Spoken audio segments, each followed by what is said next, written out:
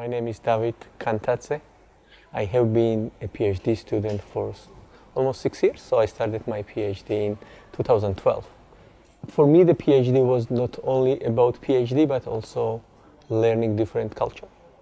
For me, it was a way to prove to myself maybe that I could do independently certain things, and it was doing PhD was one part of it, but then also su- surviving by myself in a different environment.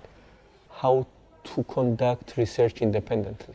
And this is actually what the PhD is also about. I think this is maybe also a definition of PhD, but this I really learned, maybe in a hard way, but now, now that I, I have this behind me, it gives some feeling of a satisfaction, I have to say.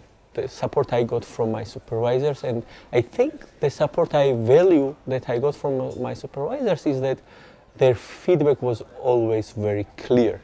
So I always understood where I was standing, and this is this could have been also sometimes harsh for me, but this was definitely maybe necessary, I would say, to understand my, my situation well.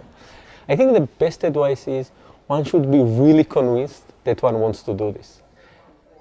Because otherwise, it's, it's not clear that it's worth to spend maybe four or five years of your life on something which does not really excite you. So I think one should be aware that it's not an easy task to do, but I guess, at least in my experience, it, it was worth to go through this hard process. But then one should be aware what are the challenges and what are the benefits, and one should make the judgment based on these factors. And these things are, I think, different for different people, so one should really know what one wants to do in some sense. Yeah.